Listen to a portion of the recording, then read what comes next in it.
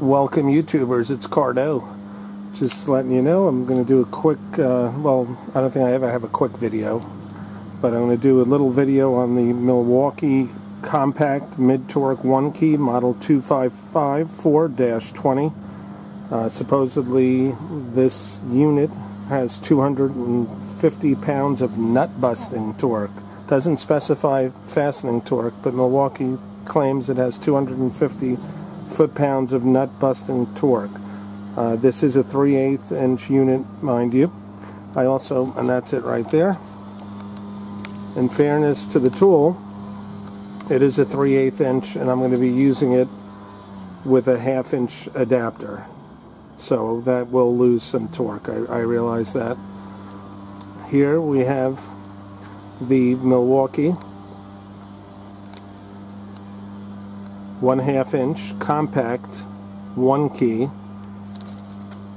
And this one is model 2579B-20 this one spec state has 220 foot-pounds of fastening torque and that has a 5 amp hour battery.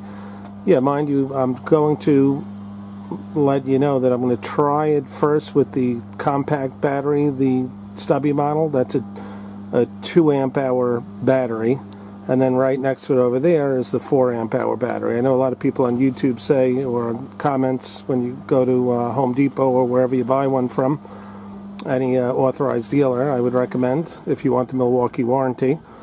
But um, they all specify the battery has nothing to do with it. And I've even, even seen the company weigh in on that, saying that the battery just um, gives you longevity of use, has nothing to do with power. So let's just see if that's true. Again, uh, there's a I'm sorry, 22 millimeter socket uh, for the Gen 3 old uh, Honda Odyssey van here. And um, the wheels are torqued at 94 foot-pounds. I'm sorry, I'm not going to break out a torque wrench. I know that's the right way to do it, but I just uh, worked on an axle nut removal about a week ago, and these these uh, wheels are torqued at 94 foot-pounds, I could assure you. So we're going to start with that and see where it leads us. Okay, 94 foot-pounds. And let's see if the stubby can do it.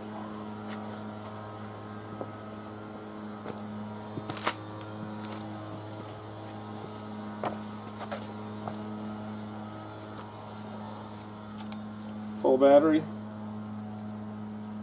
2 amp hour red lithium CP 2.0.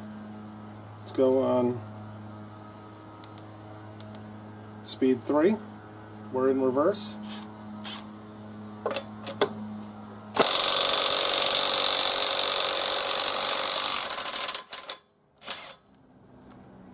Struggled a bit, but it did it.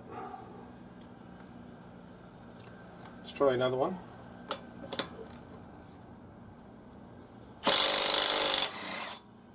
One, a little easier. Let's try it with the 4 amp hour battery. Red Lithium XC 4.0.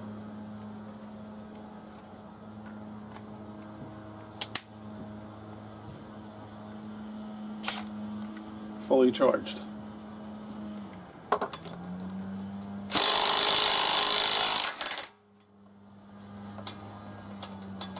So far about the same, maybe a little easier. Okay, just going to pause it. Oh, I'm not going to pause it. We're going to try this one now. I think that one will work a lot better because it is the half inch anvil as opposed to the 3 8 inch anvil on the stubby. So here we have the one key. Very nice impact 5 amp hour battery, power 4.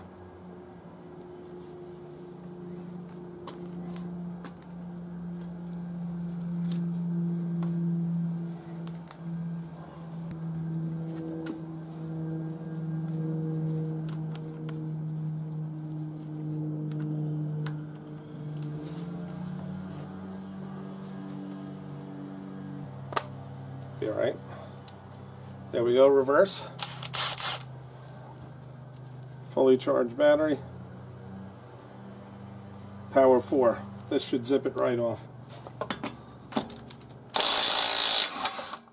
Okay, a little better. I wonder what the real difference is between these two tools. Again, this one's rated at 220 fastening, and the stubby is rated at 250 nut busting, 3 8 inch anvil, half inch anvil.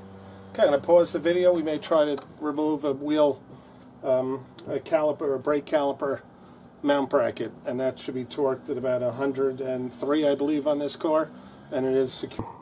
It's kind of off in terms of my comments so far about the battery, because last week I took a wheel off, and with the lower the 2 amp um, hour battery on the stubby, it wouldn't do it, and the 4 amp, it zipped it off a lot easier. So, so far that's not playing into what we're doing today. But let's try the stubby first. Fully charged. Let's get on there.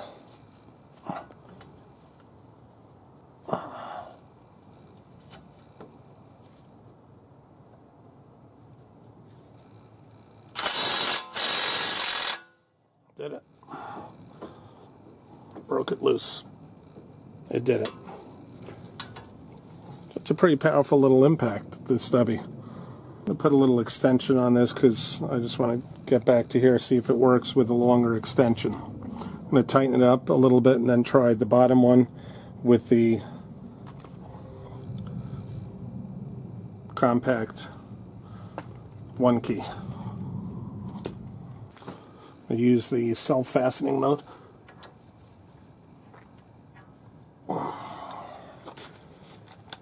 We use the um, precision wrench mode where it's just going to stop once it starts hammering.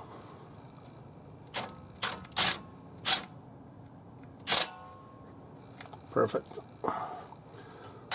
Stops immediately. Very well engineered tool. I'm going to try the bottom one with the compact one key just to loosen it. Then it's tight. It's loose. Let's go. Let's try it again.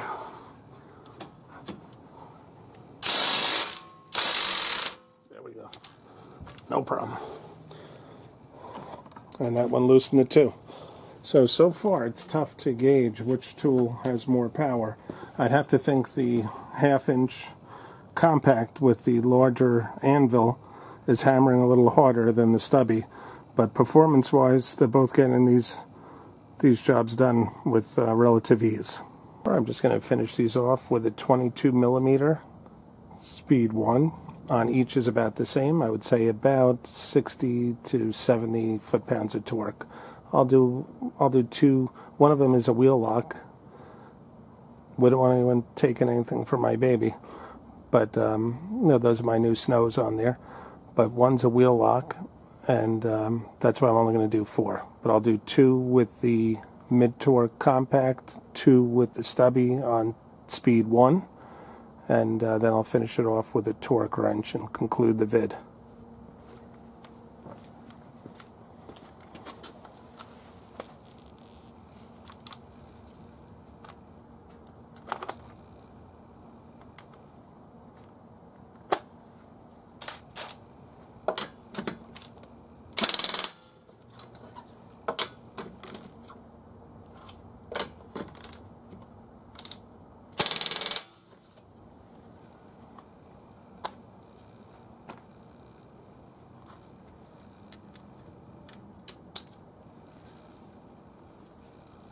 Pittsburgh socket goes on very easily.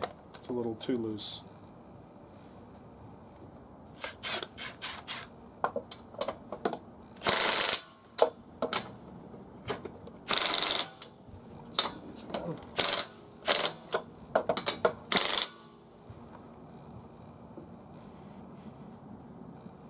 And that's a wrap. Which one's for you? You have to decide. Both very solid impacts. You're not going to go wrong with e either one, but I, I still would think this one basically replaced that one.